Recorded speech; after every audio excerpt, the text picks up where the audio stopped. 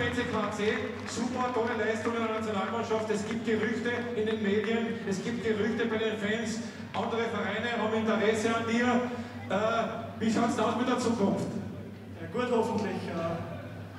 Die Organisation ist super.